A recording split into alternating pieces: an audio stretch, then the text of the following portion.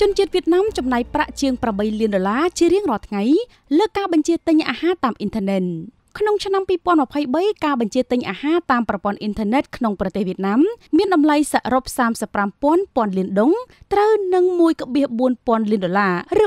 3.8លានដុល្លារក្នុងមួយថ្ងៃកើនឡើង30%ធៀបនឹងឆ្នាំ2022កំណើនតម្លៃនៃការបញ្ជាទិញតាមរយៈកម្មវិធីចែកចាយអាហារដូចជា Grab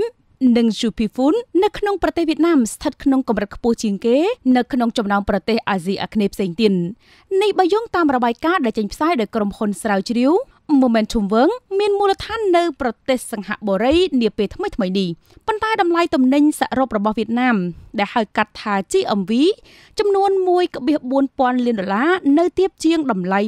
2.4000លានដុល្លារនៅក្នុងប្រទេសម៉ាឡេស៊ី 2.5000លានដុល្លារនៅហ្វីលីពីននិងសង្ហបុរីនិង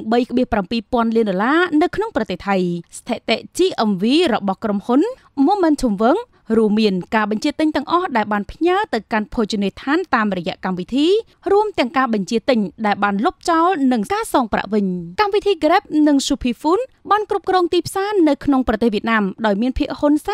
47%និង45%រៀងគ្នា កម្មវិធី Grab ក៏បានគ្របដណ្ដប់លើទីផ្សារមួយចំនួនទៀតដូចជាថៃម៉ាឡេស៊ីហ្វីលីពីន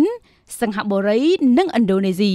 វាបាននាំមកទីផ្សារចែកចាយអាហារនៅអាស៊ីអាគ្នេយ៍ជាមួយនឹង GMV សរុបចំនួន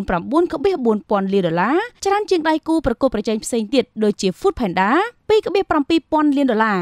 Gojek 1.8000លានដុល្លារ Shopee Food 1.5000លានដុល្លារនិង Lineman 1.3000លានដុល្លារ